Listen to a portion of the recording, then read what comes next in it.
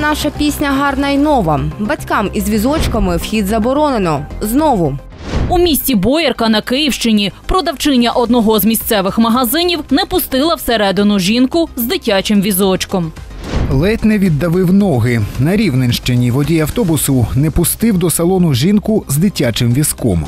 В селі Гущинці під Вінницею переробили місцевий сільмах у формат супермаркету та повісили табличку з візочками вхід заборонено.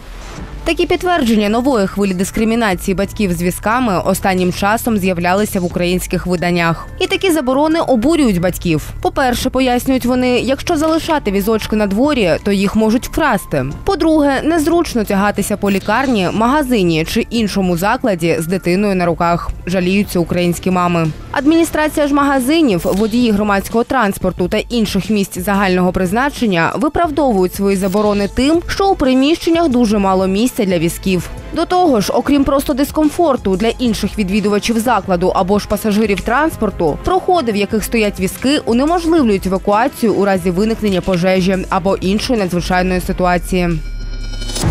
Окрім вороже налаштованого персоналу магазинів або інших закладів, окремим викликом для мам з візками є подолання міських перешкод. В українському сьогоденні міста взагалі не облаштовані для того, аби ними було комфортно пересуватися батькам з візочками. Молоді мами, навіть будучи фаховими експертками у дискримінаційних питаннях, все одно самі неодноразово стикалися з подібними проблемами. То це ще теж окремий виклик, особливо коли там якісь є такі магазини, де по східцях треба підніматися. Я бачу, там мами викручуються як можуть, цей візочок збирають, дитина в одній руці, візок в іншій, там його тягнуть, там чи, чи та сама історія з громадським транспортом, тому що я так е, розумію, у нас ці тролейбуси вони доволі високі, типу, і заїхати туди з візочком теж складно. І Абсолютно Київ як міський простір не прис- пристосований до того, щоб їздити з візочками, починаючи від того, що в принципі дороги дуже сильно розбиті, і, і, і це теж такий окремий е, челендж. І закінчуючи тим, що дуже багато бар'єрів, незручно проїхати десь. Ну е, звісно, якщо дуже дуже постаратися, то ти вихід знайдеш, але блін, це перетворюється на суцільний пошук виходу. До того ж, наголошують експерти, жінка чи чоловік з дитячим візочком це та сама маломобільна група населення. І необлаштованістю міст для комфортного пересування таких людей держава фактично порушує їхні права та дискримінує їх. Маломобільні групи населення особи, що відчувають труднощі при самостійному пересуванні, при одержанні послуг або необхідної інформації чи при орієнтуванні у просторі. До маломобільних тут віднесені особи з інвалідністю, особи з тимчасовими порушеннями здоров'я, вагітні жінки, особи старшого похилого віку, особи з дитячими колясками тощо.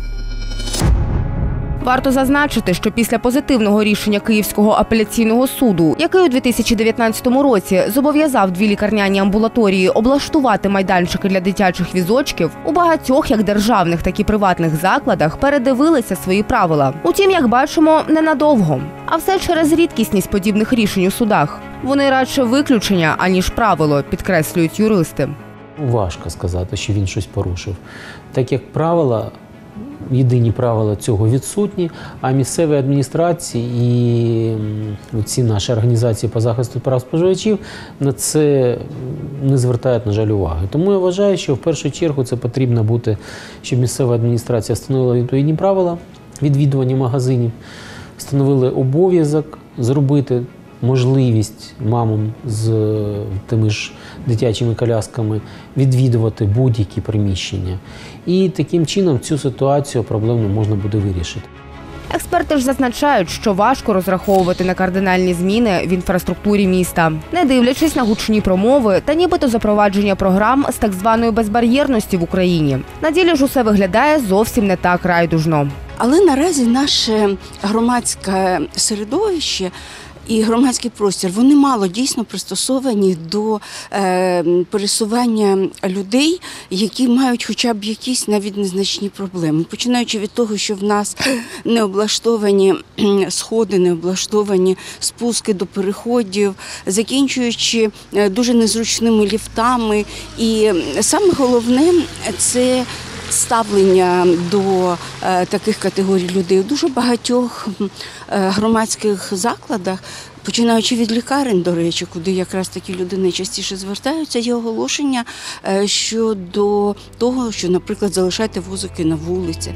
неякісні пандуси або взагалі їхня відсутність, незручні заїзди, відсутність ліфтів і так далі. Це все реалії українських батьків, і вони не такі вже й нешкідливі, як може здатися на перший погляд. Дискримінація цієї групи населення тягне за собою цілу низку глибоко соціальних проблем в Україні, починаючи від зростання ненависті всередині суспільства і закінчуючи небажанням українців ставати батьками, підкреслюють фахівці.